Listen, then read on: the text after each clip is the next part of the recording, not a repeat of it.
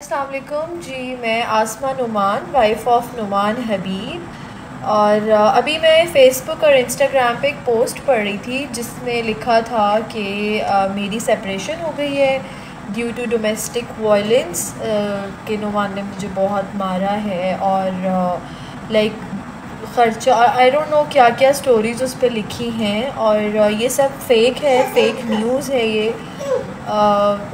तो मुझे उम्मीद है कि ये सब पेजेस से हट जानी चाहिए हर सोशल मीडिया से, क्योंकि ऐसा कुछ भी नहीं है। वी आर वेरी हैप्पी और हम बहुत खुश हैं। तो ये फेक न्यूज़ प्लीज़ हटा दीजिए, ऐसा कुछ भी नहीं है। थैंक यू सो मच तो ये थी हमारी आज की वीडियो। उम्मीद है आपको पसंद आई होगी। मज़ीद इस तरह की वीडियोस के लिए और शोबिज़ की न्यू अपडेट्स के लिए हमारे चैनल को सब्सक्राइब करें। शुक्रिया। अल्लाह हाफिज़।